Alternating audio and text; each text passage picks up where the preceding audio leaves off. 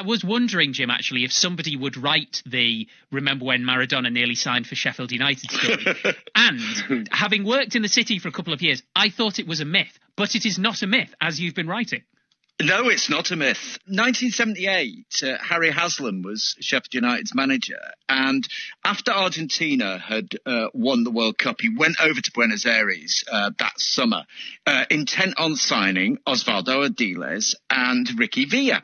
Um, but he couldn't afford their terms. Uh, they went to Spurs, as, as, as, history will recall.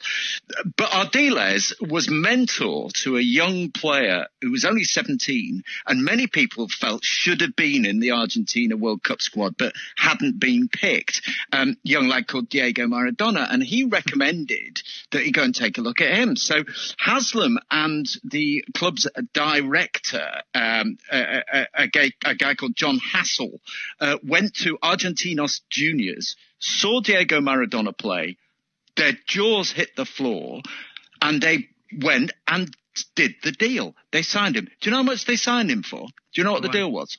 No. 150,000 quid. Wow. Anyway, it was all done, all dusted. Uh, even in those days, uh, Diego had a bit of an entourage. Lots of people had to be brought into it. Everything was sorted. All the paperwork was done they went back to their hotel and they were going the next morning to meet Diego at the airport, fly back to England, and he was going to go up to Bramall Lane and start playing for him.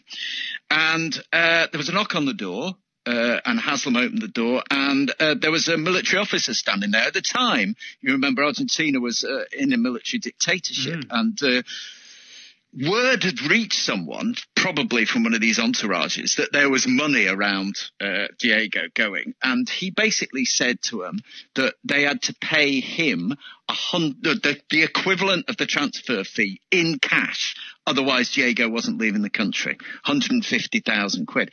Well, Haslam thought, still 300 grand. This is worth it. But John Hassall said, you know, he got very, very uh, nervy about the idea of a of a bribe, so said no, and that was it. The greatest sliding oh, day. Imagine if he'd have gone to Yorkshire. Oh, he. They must be devastated to hear that. they must be devastated. One of the best football players, if not the best football player, to have ever graced any football pitch in the world for for what was what was the total? About three hundred grand. It would have been three hundred grand, yeah, with the ah, bribe. Oh, oh my god, three hundred grand for yep. Diego Maradona. Yeah. Oh wow.